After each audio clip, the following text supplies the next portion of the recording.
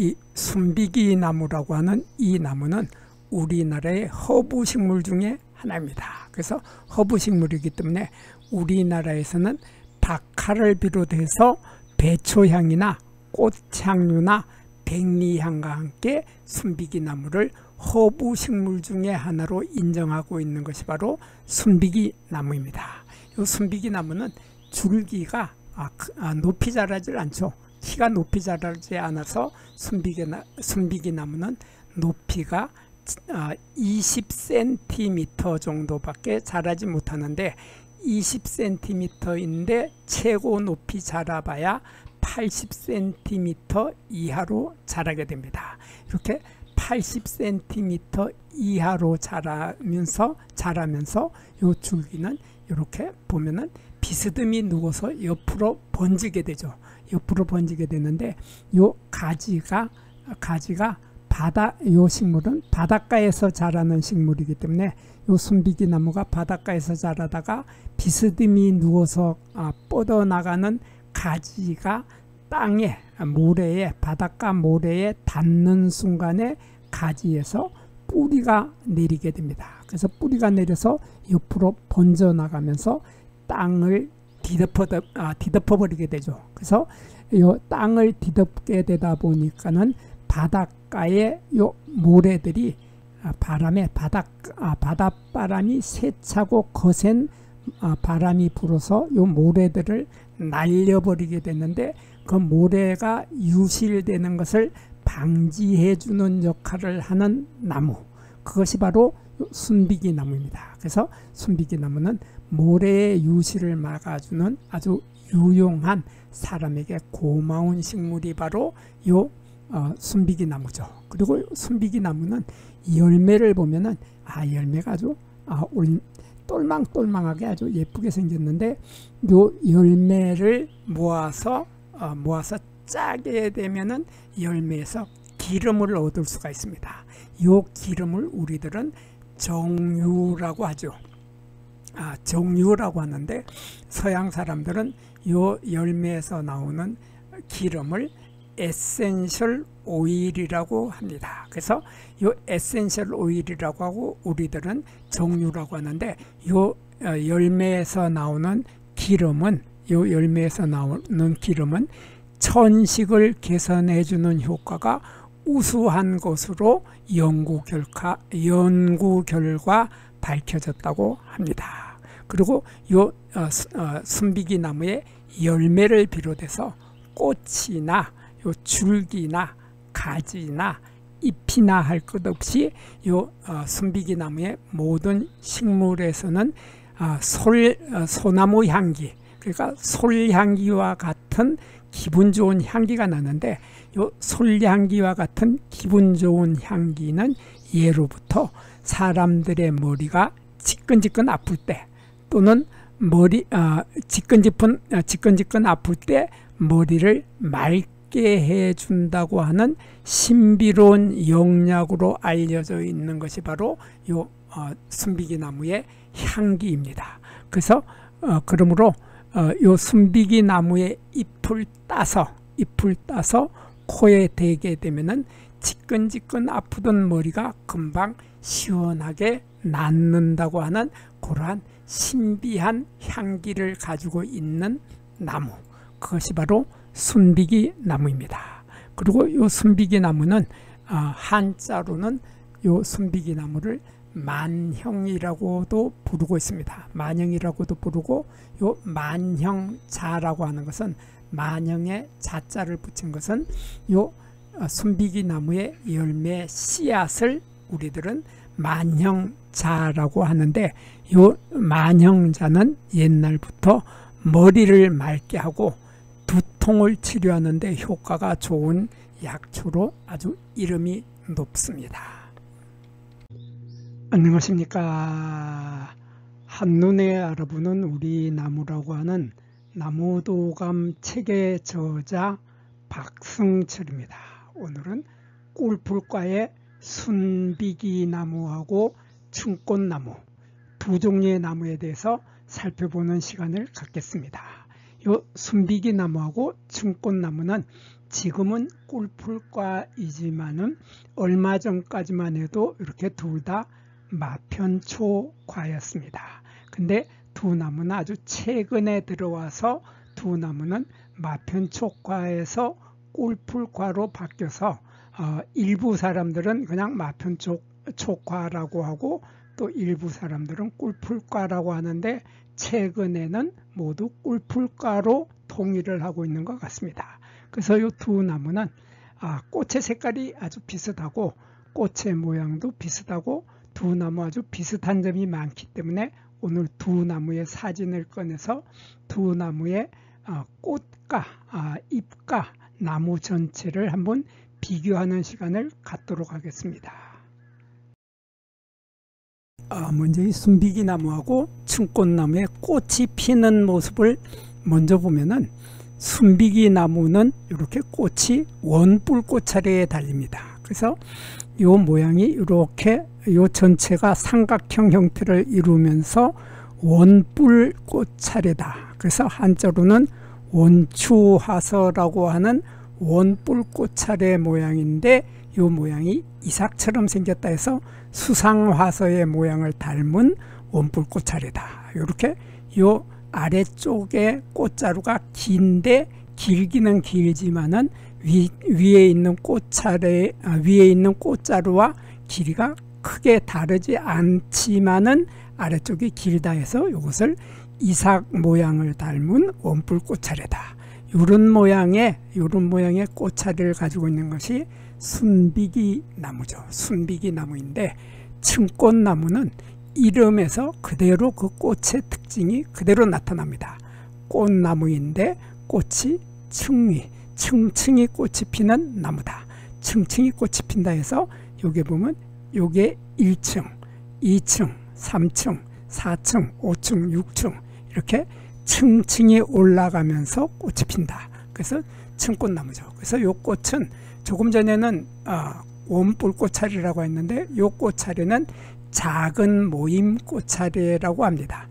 한자로는 취사나서라고 하는데 이렇게 올라와서 이렇게 세 갈래로 갈라지고 세 갈래로 갈라진 거가 또 올라가서 또 세 갈래로 갈라지고 이러한 올라가서 하나 둘 셋 셋으로 갈라지고 또 여기에서도 하나 둘 셋 이렇게 셋씩으로 갈라진다고 하는 이러한 어, 꽃차례 꽃이 피는 차례를 갈, 가지고 있는 것을 우리들은 취사나스라고 하고 한, 어, 한자로 취사나스라고 하고 우리말로는 작은 모임 꽃차례라고 합니다. 그래서 두 나무는 꽃차례에서 우선 다르고 이 꽃이 아, 꽃 하나를 보면은 또 꽃이 이렇게 취사나서로 달리는데 여기서 요 작은 꽃 하나를 보면 꽃의 모양이 두 나무는 아, 서로 다르죠.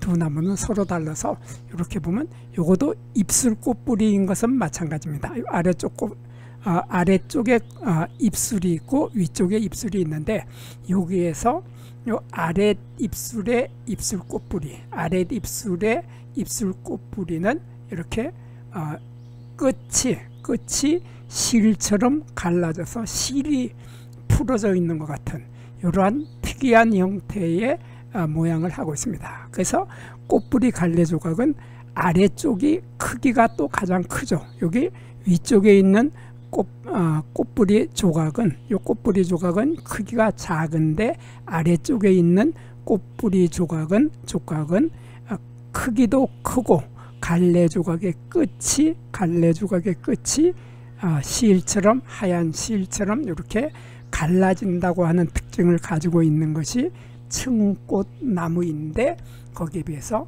이 순비기 나무는 그렇게 아래쪽이 실처럼 갈라지지 않고 이것도 마찬가지로 조금 전에 말했던 입술 꽃뿌리인데 순비기 나무도 입술 꽃뿌리인데 이쪽 두 개의 꽃잎을 어, 어, 우리 어, 꽃잎이라고 했는데 요거 꽃뿌리 조각이죠. 꽃뿌리 조각 두 개는 요거는 윗입술이고 요 아래쪽에 세 개의 아, 아, 아랫입술이 있습니다. 이렇게 세 갈래로 갈라지고 윗입술은 두 갈래로 갈라지는 이러한 형태인데 요 형태에서 요 꽃은 요 끝에 있는 아래쪽에 있는 아랫입술이 실처럼 갈라지지 않는다고 하는 차이점으로 요 순비기 나무하고 청꽃나무는 꽃의 모양에서 뚜렷하게 차이가 나고 그리고 요 수술대를 보면은 수술대는 아, 수술대는 두 개 두 개에서 네 개의 수술대가 있는데 아, 네 개의 수술대 중에서 두 개는 길고 두 개는 짧은 두 개는 길이가 짧은 둘긴 수술이라고 하고 한자로는 이강웅예라고 합니다. 이러한 이강웅예 형태의 수술을 가지고 있는 것은 이렇게 순비기 나무나 순비기 나무나 층꽃나무나 마찬가지입니다. 그래서 층꽃나무도 이강웅예의 형, 태를 하고 있는데 그 길이가 확연하게 차이는 나지는 않습니다. 확연하게 나, 차이는 나지 않지만은 아래 쪽에 있는 두 개의 수술대는 길고 위쪽은 좀 짧다 하는 이런 차이점을 가지고 있고 암술대는 이렇게 한 개가 있는데 암술대의 끝에 있는 암술머리는 둘로 갈라지게 되죠. 둘로 갈라지는 것이 층꽃나무인데 마찬가지로 순비기 나무 또한 마찬가지로 암술대는 이렇게 한 개가 있는데 한 개의 암술대의 끝은 둘로 갈라진다 하는 이런 공통점을 가지고 있습니다. 그렇지만 두 나무는 꽃의 크기가 서로 확실하게 다릅니다. 꽃의 크기가 달라서 요거 꽃뿌리라고 했죠. 꽃뿌리. 화관이라고 하는 꽃뿌리가 여기에서 여기까지가 화관, 꽃뿌리가 있는데 요 길이가 길이가 2cm 정도 된다. 여기에서 여기까지가 2cm 정도 되는 것이 순비기 나무인데 거기에 비해서 청꽃나무는 꽃뿌리의 길이가 2cm보다가도 훨씬 작은 5 내지 6mm이다. 그래서 이 길이가 1cm보다가도 거의 1, 1cm의 거의 반밖에 안 되는 아, 크기가 작은 꽃이 피는 것이 청꽃나무인데 어, 요거 순비기 나무는 그 크기가 훨씬 크다 하는 이러한 뚜렷한 차이점으로 두 나무는 구별을 합니다. 그리고 두 나무는 나중에 열매를 맺게 되는데 열매를 맺은 모습을 보면 이렇게 생겼죠. 요거 아, 순비기 나무인데 순비기 나무의 열매는 이렇게 동그란 공처럼 생긴 공 모양이라고 하죠. 이런 공 모양의 동그란 동그란 이런 어, 형태의 열매를 맺는데 요 열매는 9월달에서 10월달에 검은 어, 흑자색으로 자주색, 검은 자주색으로 익는다 해서 흑자색으로 익게 되는데 요 열매는 우리들을 우리들은 한자로 핵과라고 하고 한자로는 굳은 씨 열매라고 합니다. 요 핵과의 대표적인 것이 복숭아가 있죠. 그래서 요 열매의 구조는 복숭아의 열매의 구조하고 같다. 그래서 요 열매는 얇은 열매 껍질이 있고 열매 껍질 속에는 껍질 열매 껍질 속에는 어, 액즙이 많이 들어있는 과육 열매살이 들어있고 열매살 속에는 씨앗이 한 개가 들어있는데 그 씨앗은 커다란 씨앗이 한, 아, 딱딱하게 딱딱하게 굳어 있는 커다란 씨앗이 한 개가 들어있게 됩니다. 그래서 씨앗이 씨앗이 딱딱하게 굳어 있다. 씨앗이 딱딱하게 굳어 있다 해서 굳은 씨 열매라고 하고 한자로는 핵과 그래서 복숭아의 열매하고 같은 구조를 하고 있고 요 크기는 5에서 7mm 정도로 아, 크기가 작다 하는 것이 바로 아, 순비기 나무인데 여기에 비해서 층꽃나무의 어, 열매를 보면 아 층꽃나무는 좀 특이합니다. 그래서 층꽃나무는 여기 이렇게 꽃이 피었을 때 여기 꽃뿌리가 있었고 요 아래에 꽃받침이 이렇게 길게 있었는데 요 암술대 아래에 여기 요 부분에 미씨가 들어있는 씨방이 있게 됐는데 요 씨방이 점점 자라서 열매가 됩니다. 열매가 되는데 여기에 있던 꽃받침 조각이 요 꽃받침이 나중에 열매가 다 익었을 때까지도 꽃받침이 이렇게 남아 있게 되죠. 남아 있어서 꽃받침 조각만 보이는 이러한 꽃받침 조각만 보이는 이러한 열매를 맺게 되는데 이렇게 꽃받침 조각이 열매가 다 익을 때까지도 떨어지지 않고 남아 있다. 그래서 이러한 아, 이러한 꽃받침을 우리들은 영구히 남아있는 꽃받침이다 해서 영구 꽃받침들이 여기도 있고 여기도 있고 여기도 있고 이렇게 영구 꽃받침 한자로는 어, 숙존악이라고 하는 영구 꽃받침들이 아주 아주 꽃의 숫자만큼 요 꽃의 아, 꽃의 숫자만큼 요 꽃받침 조각이 그대로 남아서 꽃, 어, 꽃받침으로 어, 잔뜩 둘러싸여 있는데 이 꽃받침 속에는 아, 씨앗이 들어 있습니다. 이러한 열매가 들어 있는데 이 열매도 이렇게 아, 특이하고 신기하게 생겼는데 요거 마치 아, 왕관 같이 생겼죠. 아, 옛날 엘리자베스 엘리바, 영국의 엘리자베스 여왕이 쓰던 왕관처럼 생긴 이러한 열매가 요, 요 속에 들어 있는데 요 속에 들어 있는데 요것이 이렇게 네 갈래로 나중에 갈라지게 됩니다. 이러한 요게 줄이 이렇게 보이는데 희미하게 줄이 보이는데 이것을 복봉선이라고 하고 요 복봉선은 여기의 열매가 다 있게 되면은 요 복봉선을 따라서 열매가 서로 네 갈래로 갈라지면서 요 속에 들어있는 씨앗이 튀어나온다. 그래서 요 씨앗은 저절로 아, 나중에 열매 껍질이 터지면서 씨앗이 튀어나온다 하는 이러한 열매를 우리들은 한자로 삭과라고 하고 한, 어, 우리말로는 열, 어, 그 속에 들어있는 씨앗이 튀어나온다 해서 튀는 열매라고 합니다. 이러한 튀는 열매는 요거 열매 하나가 길이가 6mm 정도 되고 이러한 아, 이러한 특이한 왕관 모양의 열매를 맺게 되는 것이 이게 층꽃나무인데 거기에 비해서 순비기나무는 아, 핵과라고 하는 굳은 씨 열매를 맺다, 맺는다고 하는 뚜렷한 특징을 가지고 있습니다. 그리고 순비기나무는 잎을 보면은 잎이 이렇게 잎의 가장자리에 톱니가 없습니다.